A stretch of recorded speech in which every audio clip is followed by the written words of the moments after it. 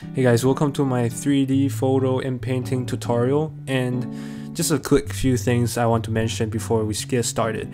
This, uh, this installation only works for Windows and for NVIDIA graphic card. For me, I uses um, GTX 1080 because if you use other graphic cards like AMD's, I have no idea um, if it works or not. So if it goes wrong, or something, I, I probably don't have the expert expertise to fix fix it. I stutters a lot, sorry. Um, all the links will be down in the comments for you to use. And let's get started. So we go to their blog for 3D photo inpainting and we scroll down to get the links, which you click on the code, which links you to the GitHub page. And now you have to clone and download the repository and now you choose a place you want to place your zip file and unzip it. Usually it produces one extra file folder for you, so I usually um, control X to um, cut the inner folder and then paste it outside the folder and delete the original folder since it's empty. Yes, now you have the whole GitHub repository for 3D photo inpainting. The next thing you want to do is to download Anaconda 3. Uh, link in the description. Download whichever your um, computer is. If it's 64 bits, download 64 bits. If it's 32, download 32. Well, it doesn't matter if you're 64 and download 32. Now you just have to wait. After it is downloaded, you open the installer and you click everything on default and you can set a custom destination you, you like or just leave it there if you don't want to change anything. Leave everything on default and install. It might take some time so just wait patiently. Now you open up your search bar and search anaconda prompt right there and then we get it and then we open it here.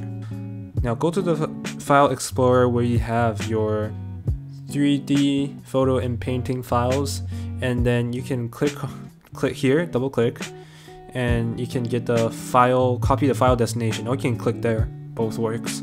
And you get the file destination, and then you copy it, and then you paste it into your Anaconda prompt with, with typing cd space first, which means you're going towards that destination. My GitHub repository copy is on gdisk.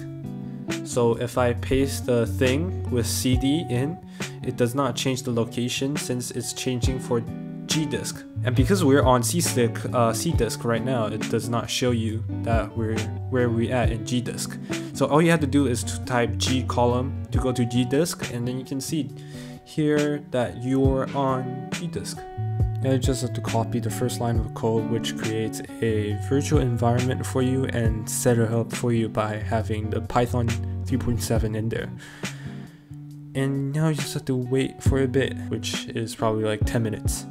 What does here is to create an environment for you for all the libraries that you install, which is excluded in this specific virtual environment called 3DP. Now you copy the second line, conda activate 3DP and paste it into the Anaconda prompt, and in which it activates your 3DP virtual environment and can see it from here. And after that, you copy the third line of code, which is pip install -r requirements.txt. That installs all the stuff you need for this um, AI. And for some reason, um, SciNet works here, doesn't work for me, and it pops up a lot of red, red text. But even though it says it failed, I still was able to run the program smoothly. So so just, let's keep going. On the fourth line, you copy the fourth line, you basically install more stuff. These are basically all the frameworks for neural networks or like AI related stuff. And then, yeah, it takes a while to download too. And for the next section, you copy the first line of code, which is chmod plus x download.sh, and then you copy and paste it. And for the last line, the dot slash download.sh, it is a bit different since uh, we're on Windows and we're on Anaconda. And this is because you, the dot slash is a Ubuntu function. And what you have to do instead is to type bash space download.sh and then press enter. And this is basically downloading all the models and weights for you. And now everything is set after you finish downloading the models. It may take up to like 10 minutes, depends on um, your internet speed.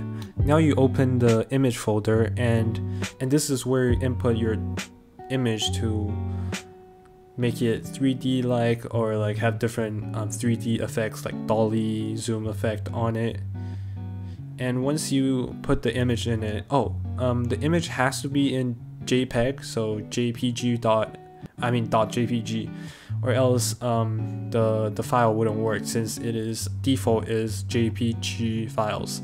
So if you have other files just go online and search a image converter to JPG image. And you copy this line of code here and you paste it into the anaconda prompt. Now you copy this line of code and then and now you just have to wait for six minutes it always usually stucks like here for a bit and it usually runs for like six minutes or less i mean for me well after everything is loaded you can see the low bar here it's for four kinds of video. One is swing, one is zoom, one is dolly zoom, and one is circle. Yes. These are all the movements that it will perform on the image. And you can go back to your last page, which is the overall, like all the where all the files are, and you go to the videos and you can see all your results are there. And now if you wanna make more new images, you just go back to the image folder and you delete that one and then you put a new image and then you're all set for a new 3D image render. And then if you just close this Anaconda window, everything will be, the virtual environment will close automatically, so don't worry. And yeah, that's it for today's tutorial. Um, if you have any questions, comment down below. Uh, I'll try to answer them if I know how to. Thank you guys for watching. If you guys want more tutorials on other AI programs, uh, comment down below too. And check out my main video, video if you haven't. And I'll see you guys next time.